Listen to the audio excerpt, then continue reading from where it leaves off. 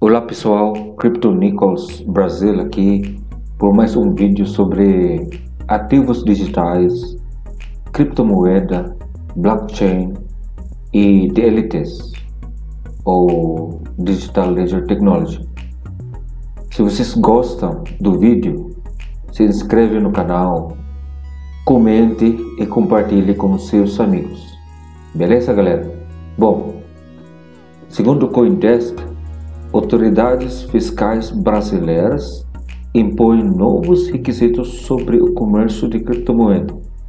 Então, aqui no Brasil, no América Latina, a adoção já está começando, porque as autoridades, uh, o, governo já está tentando uh, adaptar, fazer um amendamentos de lei para tentar regularizar esse novo ativos digitais.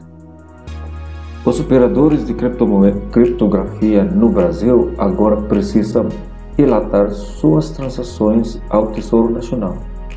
A Secretaria, a Secretaria da Receita Federal do Brasil publicou orientações sobre as criptomoedas em maio, declarando que transações acima de 30 mil dólares, acredito que 30 mil reais, ou 7.600 dólares devem ser informadas a autoridades fiscais. Ou seja, em cima de 30 transações acima de 30 mil reais, tem que declarar. A decisão é amplamente vista como um meio para o governo aumentar as receitas fiscais. Tem como alvo tanto os investidores privados quanto as empresas que lidam com criptografia.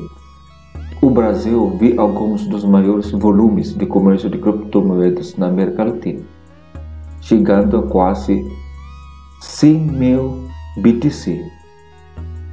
100 mil BTC, pessoal, com 10 mil, quase 11 mil de dólares. Quantos milhões de dólares uh, essa transação aqui na América Latina. Além disso, o valor do mercado de criptografia ultrapassou de 8 bilhões de dólares em 2008, segundo o Tesouro Nacional. As informações relacionadas à compra, venda ou doação de fundos de criptografia, que fundos de criptomoedas serão submetidas à coleção nacional por meio de centro de atendimento virtual e CA, CAC até o último dia do dia útil do mês. O não cumprimento o não cumprimento pode usar pode resultar em transações, desculpa pessoal.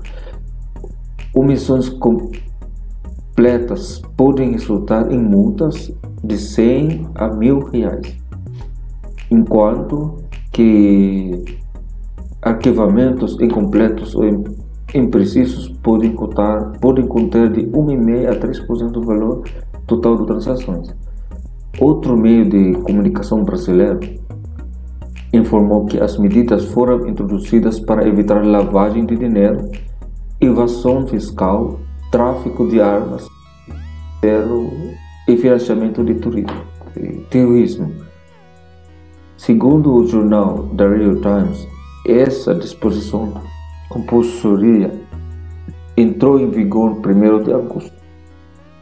Em junho, quanto às principais autoridades financeiras do Brasil propuseram uma caixa de proteção regulatória para tecnologia financeira e de blockchain para promover o entendimento regulatório do setor. Bom pessoal, se quer ler esse artigo do, do Coindesk, eu vou colocar um link na descrição. Mais uma notícia boa para a comunidade de ativos digitais, criptomoedas e XRP.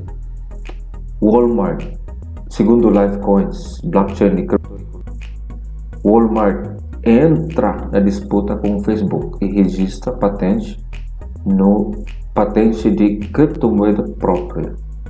Criptomoeda de rede, da rede de supermercados permite ser grande rival da Libra do Facebook. O Walmart acaba de registrar a patente de uma criptomoeda que poderá ser rival do projeto do Facebook.